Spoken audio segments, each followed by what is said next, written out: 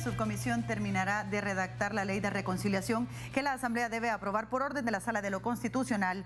Tras la ola de críticas que han recibido los diputados, dicen que no hay prisa por aprobarla y que no es cierto que lo quieran hacer de forma express. Guadalupe Bonilla nos tiene el informe.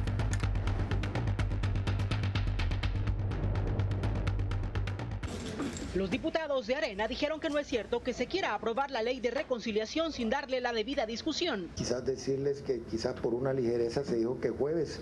Hombre, lo importante es que le demos el tratamiento en el plazo que dio la Corte, que es el 13 de julio. Nosotros somos serios en esto. Vamos a discutirlo primero en la fracción nuestro grupo parlamentario. Vamos a ver qué dice lo que ha planteado justamente la comisión ad hoc. Mario Tenorio acusó al resto de miembros de la comisión de tener sus intereses y que por eso quieren obligar a que la aprobación de la normativa se dé antes de que termine el periodo del presidente Sánchez Serén. Y a mí me llama la atención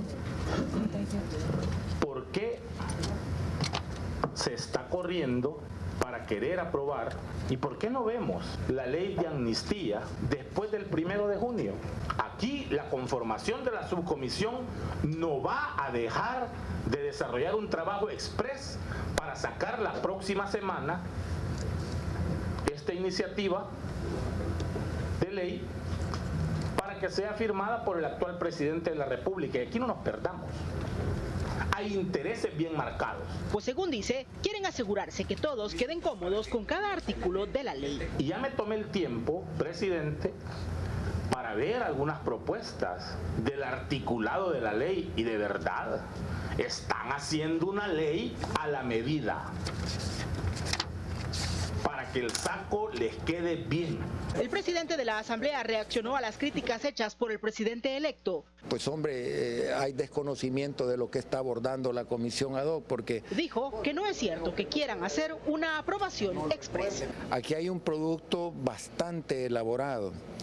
Eh, un trabajo producto de más de 14 reuniones. Si se quiere interpretar que la comisión política va a producir eh, un anteproyecto de ley con 8, 10, 15 días es falso. La Comisión Política terminó conformando una subcomisión para que siga con el análisis de la ley de reconciliación. Habrá representación de cada partido político. Para Teleprensa Canal 33, Guadalupe Bonía.